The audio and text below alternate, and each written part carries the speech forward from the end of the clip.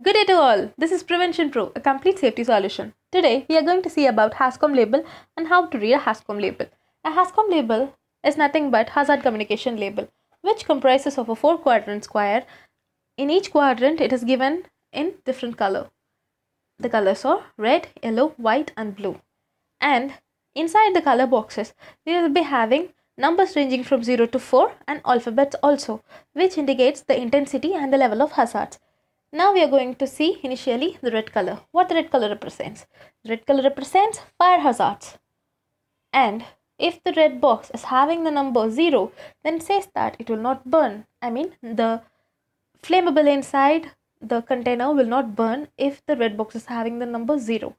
And if the number 1 is given, then it says that about 200 degree Fahrenheit, it will burn. And if you're having number 2, then it says that below 200 degree Fahrenheit it will burn. If the red box is having number 3, then it says that below 100 degree Fahrenheit itself it will catch fire. And finally, if the number 4 is given, then it says that below 73 degree Fahrenheit it will catch a fire. These are the flash points of the flammables. Now we are going to see about the yellow one. The yellow one represents reactivity. Here, the numbers here also the numbers are 0 from, from 0 to 4 and if the yellow box is having the number 0 then it says that it is stable. If the number is 1 it says unstable only if it's heated. And if the number is 2 then it says that it is violently chemically chemically reactant. That is it gets violent chemical change. And if the number is 3 then it says that if it is treated with shock and heat and it may detonate and finally, if the number 4 is given in the yellow box, it says that it may detonate. Now we are going to see about the white color. The white color is the specific hazard. Here comes the alphabets. The specific hazards, the alphabets. Initially, if the alphabet ACID is given, then it says that it contains acid. If the alphabet ALK is given, then it says that it contains alkali.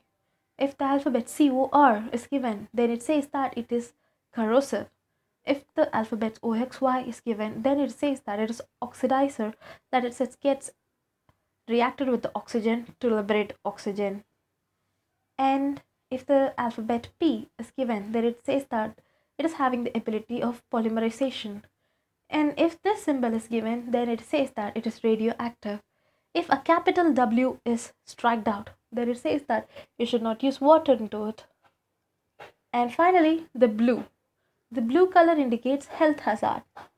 Here comes again the numbers. The zero says that it is a normal material, that is, it will not react.